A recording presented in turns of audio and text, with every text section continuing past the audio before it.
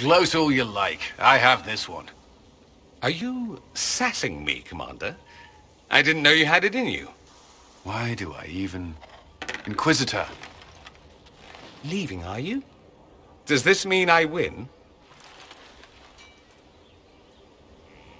Are you two playing nice? I'm always nice. Please, don't stop on my account. All right. Your move. You need to come to terms with my inevitable victory. You'll feel much better. Really?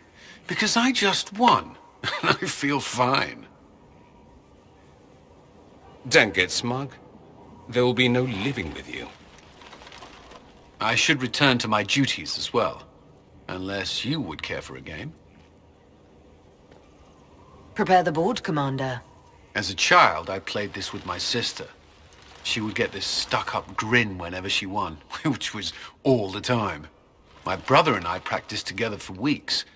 Oh, the look on her face the day I finally won. Between serving the Templars and the Inquisition, I haven't seen them in years. I wonder if she still plays. You should keep in practice for when you see your sister again.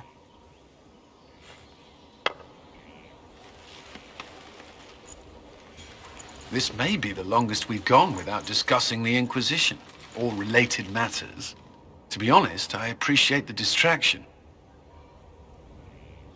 We've been through enough to drop the formalities and simply talk. I suppose we have. We should spend more time together. I would like that. Me too. You said that. We should finish our game, right? My turn?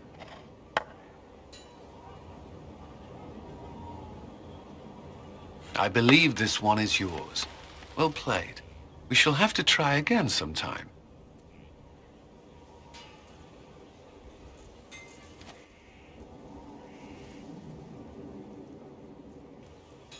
And this one's mine. It seems luck favored you today.